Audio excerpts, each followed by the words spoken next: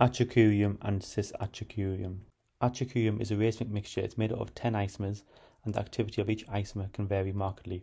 It's a neuromuscular blocking drug presented as a clear colour solution in 10 mg per ml at 25 and 50 mg ampules. It's a non-depolarizing competitive antagonist at the nicotinic acetylcholine receptor. It's given by an IV route and therefore has 100% bioavailability at doses of 0.5 mg per kilogram with an onset of 3 minutes and a duration of 40 minutes.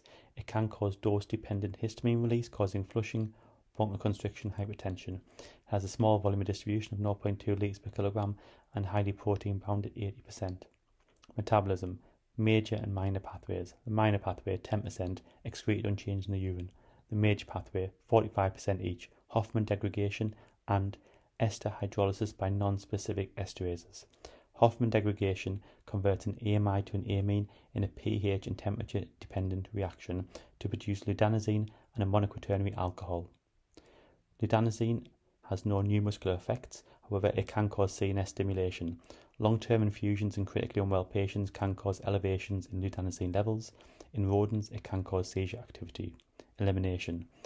Bile and urine, elimination half-life 20 minutes. Cis-atracurium is one of the three cis-cis isomers in atracurium. It is more potent and therefore we give a smaller dose at 0.15 milligrams per kilogram and therefore has a slow onset of action. It is associated with less histamine release and increased Hofmann degradation at 70%.